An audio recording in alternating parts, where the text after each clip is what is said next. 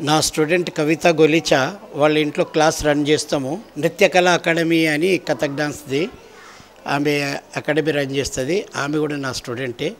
అక్కడ నేను డాన్స్ నేర్పిస్తాను. ఎవ్రీ ఇయర్ గంధర్వ మహావిద్యాలయం నుండి ఎగ్జామ్స్ ఇప్పిస్తాము. ఆర్ యాన్యువల్ డే చేస్తాము మేము. పిల్లలు ఏమేమి నేర్చుకుంటారో వాళ్ళ పిల్లల వాళ్ళ పేరెంట్స్ని పిలిపించేసి ఈ ప్రోగ్రామ్ చేయడానికి పిల్లలకు ఎంకరేజ్ చేస్తాం మేము. ట్రైన్డ్ మాది రెగ్యులర్ క్లాస్ నడుస్తుంది. ఎవ్రీ ఫ్రైడే సాటర్డే క్లాసెస్ జరుగుతుంటాయి. అదే క్లాస్లో మేము ఎగ్జామ్స్ కూడా ఇప్పిస్తాము.